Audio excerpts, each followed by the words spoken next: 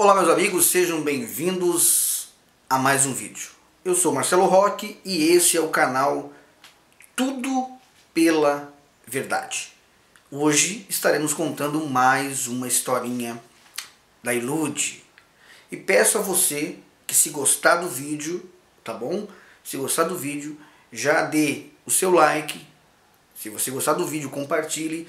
E se você gostar também da, do, uh, dos nossos conteúdos, você também se inscreva no canal. Aqui do ladinho aqui vai ter um botãozinho que você pode estar se inscrevendo, se você ainda não é inscrito, tá bom? Meu forte abraço para todos os inscritos do canal, os mais de 35 mil inscritos que têm confiado nas verdades aqui contadas. E hoje a historinha que eu vou contar vai ser para os obreiros, os obreiros da Ilude, os obreiros da Ilude, né?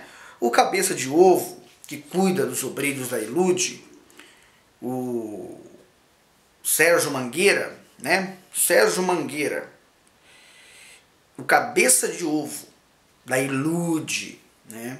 Fica, é, ele cuida dos obreiros, né? com seu terror psicológico, com as suas maldições, com, com tudo aquilo que há de ruim dentro dele, ele tem amaldiçoado a todos aqueles que têm participado do seu resgate.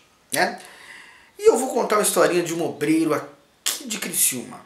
Um obreiro aqui de Criciúma, com eu não vou dar o nome desse obreiro, tá? E é um, é um comentário muito interessante que esse obreiro fez lá no Instagram, se eu não me engano aqui, é, quem me mandou foi quem me mandou foi um pastor, é um pastor que mandou pro bispo, né? Bispo cabeça de ovo, bispo Sérgio Mangueira, Mangueira é o Mangueira, né? Então Uh, deixa eu ver aqui. Vou tratar essa obreira com o nome de Vivi. Não vou mostrar o nome dela, né? Não vou mostrar o nome dela para não ficar é, também para eles não ficar é, com represália em cima dela. Tá aqui, ó. Eu vou ler esse comentário que ela deixou lá, lá no canal do cabeça de ovo da Ilude, o chefe, o chefe da manipulação, né? Aquele que consegue manipular com maestria os obreiros da Ilude. Os obreiros, eles são ah, marionetes. Você que é obreiro, você obreiro da Ilude, eu gostaria que você, antes de você ficar brabo comigo, Antes de você ficar irritado, me amaldiçoar, dizer que é o diabo, que é o satanás, que é o capeta, que, que o diabo tem me usado. Antes de você pensar assim, analise as coisas. Deus te deu uma cabeça para você pensar. Então analise a situação. Analise. Quanto tempo você está na instituição, né, dando uh, todo final do ano, ou sempre lá em junho, julho, quando tem a cegueira anta, você dá todo o seu salário, muitas das vezes, você faz tudo nessa empresa e você. O que você tem hoje? Um emprego? Você é milionário? Você é rico, como eles, eles já prometeram muitas das vezes? Hum? Você é rico? Então analise. Ah, mas Deus vai me dar. Hum, Deus vai me dar. Engraçado que Deus Deus, ele não te deu em 20 anos, 15 anos, 10 anos, 30 anos. Deus não te deu nada.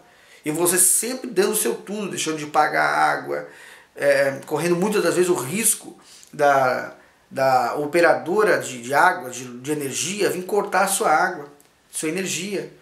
Né? Você deu tudo, sempre dá tudo. Engraçado que em 20, 10, 15 anos não aconteceu nada na sua vida. Melhorias, né? Melhorias corriqueiras que aconteceria mesmo que se você não tivesse feito nada, acontecem. Mas engraçado que na vida dos bispos, dos pastores, não acontece, acontece de imediato, né? Acontece de imediato. É compra de apartamento de milhões, é compra de banco de milhões. É...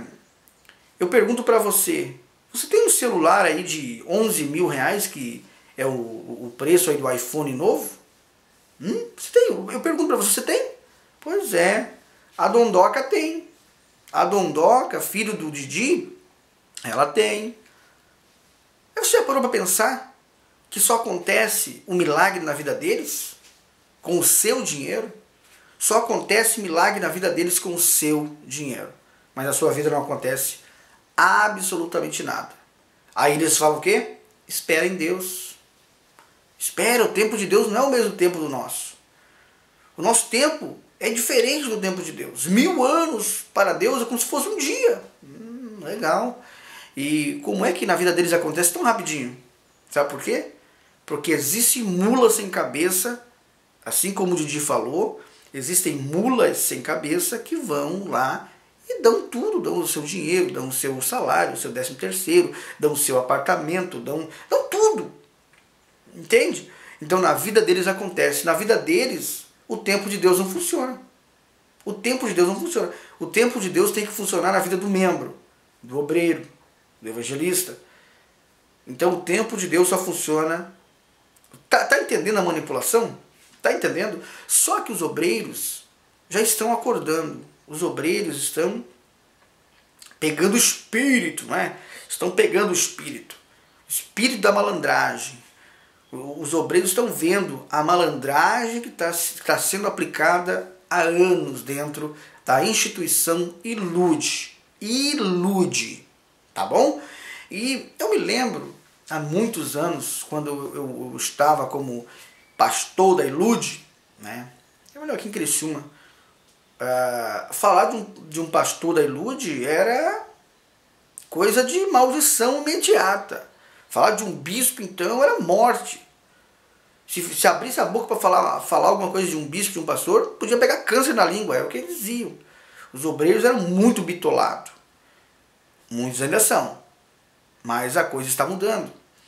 Não se, não se tinha não se, não, não se tinha voz para falar. E eu vou falar desse, dessa obreira aqui, vou mostrar para vocês, vou mostrar para vocês aqui que a coisa mudou. As coisas mudaram, né? Deixa eu ampliar aqui para me conseguir ler que está muito pequenininho. Tá aqui. Vamos tratar essa obreira como Vivi, né? Vivi. Ela manda uma mensagem para o cabeça de ovo, para o cabeça de ovo. Vivi. Diz assim, eu, eu, até tirei, ó, tirei até a, a, a, a foto dela, apaguei a foto dela, para ocultei ali para não...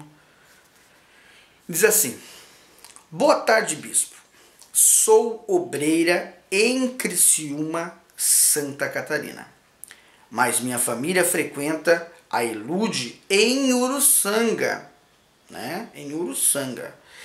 Recentemente, os obreiros enviaram um e-mail para o Senhor relatando o desespero do pastor Gerson é, em querer que os obreiros e o povo pegassem o envelope da cegueira anta, ameaçando o povo e os obreiros a irem para o inferno se não cumprissem o envelope. Uma total falta de respeito com os fiéis. Agora o Senhor coloca em Criciúma, o Senhor o coloca em Criciúma para atormentar os obreiros a sede? A sede da Ilude. Tô, tô contando uma história aqui, tá, gente? Da Ilude. Ilude. E tu conhece a, a, a, alguma instituição chamada Ilude. Ilude. É algo fictício, tá? É uma total falta de respeito com os fiéis. Agora o Senhor coloca em Criciúma para atormentar os obreiros da sede. Quando tiver reunião com o bloco em Criciúma, ele amaldiçoa os obreiros de Uruçanga. Por favor, bispo, olha o desespero da, da, da obreira. O desespero. Por favor, bispo. O Senhor, o pastor é desequilibrado, grosso, estúpido. O Senhor manda ele para a sede de Criciúma. Nos ajude. Aqui está difícil com o pastor São Jorge, o São Jorge, né? Que é um cavalo. Olha só, gente. Que é um cavalo. O Senhor manda outro. Não sei aonde isso vai parar. Eu vou ler de novo essa partezinha aqui, ó. Por favor, o pastor é desequilibrado, desequilibrado, grosso, estúpido. O Senhor manda ele para a sede de Criciúma. Nos ajude aqui, está difícil com o pastor São Jorge, que é um cavalo grosso.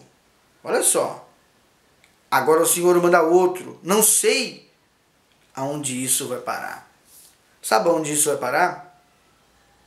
Né? Sabe aonde isso vai parar? Eles sabem. Eles sabem. Aqui, ó. Nesse mesmo comentário, muita gente. Amém, bispo. Tá ligado? Verdade, bispo. Fato. Amém. Amém. Amém. Amém. Tá ligado, bispo? Olha, gente, eles usurpam a graça do Criador.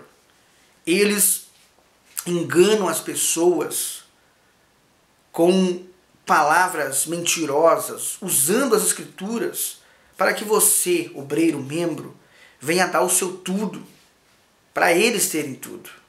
Eu não digo pastorzinho da tua igreja, não, pastorzinho aqui de Ursanga, Siderópolis, pastorzinho, de, o bispo aqui da sede, bispinho aqui da sede, não digo eles, porque eles têm que mostrar trabalho, através da tua oferta, da tua oferta, é que ele vai receber um cargo melhor, é que ele vai receber um carro melhor, é que ele vai, vai ter ou não depois da cegueira anta os 3, 4 dias aí de folga, se for muito boa, né?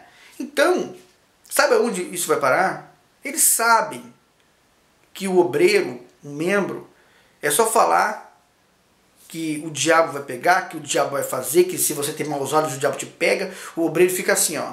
Sim, senhor, sim, senhor, sim, senhor, sim, senhor, tá ligado, tá ligado, tá ligado, tá ligado, tá ligado, é isso mesmo, bicho, tá ligado, tá ligado, é isso mesmo, tá ligado, é, é, tá ligado, tá ligado. E a vida destruída, a vida na beira da miséria, nunca tem nada, nunca tem nada. Dá tudo para a instituição, ilude, ilude. Tá? Volto a frisar, se alguma instituição aí, né, qualquer instituição religiosa, pegar o chapéu que eu estou falando, colocar na cabeça e servir, tudo bem. Eu estou falando, né? Estou falando de uma instituição fictícia. Ilude. Ilude. Ilude. Tá bom, pessoal? Tá aí. Sabe aonde isso vai parar? Com dinheiro dentro do bolso deles. Porque eles sabem que conseguem manipular vocês. As escrituras é a melhor arma para manipulação de massas. E quem sabe utilizar, como o Didi soube até hoje, entendeu? É assim que funciona. É assim. Sabe como é que, como é que, como é que funciona o negócio? É eles ficar 40 anos mentindo que o monte Sinai fica num lugar que, e que eles estão subindo o Monte Sinai por você.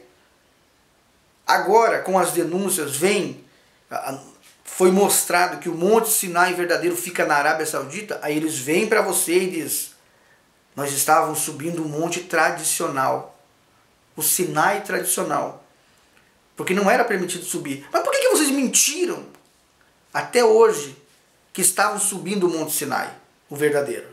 Hum? A teologia do Didi, os diplomas falsificados do Didi não não deram inteligência para ele saber que estava subindo o monte errado? É claro que ele sabia. É claro que ele sabia. Só estava manipulando, porque sabia que não podia subir o Sinai verdadeiro. É aí, a manipulação ela vai acontecer, porque ele sabe, obreiros, que consegue manipular a vida de cada um de vocês. Tá bom? Se você gostou do vídeo, compartilhe ele, envie para o máximo de pessoas. Se você não é inscrito, se inscreva. Estaremos sempre em busca da verdade. Aqui contando histórias de uma empresa fictícia, a Ilude, e sempre contando com você. Se você tem o seu relato, também me envie através do redrock 2013 gmail.com. Um forte abraço e até o próximo vídeo.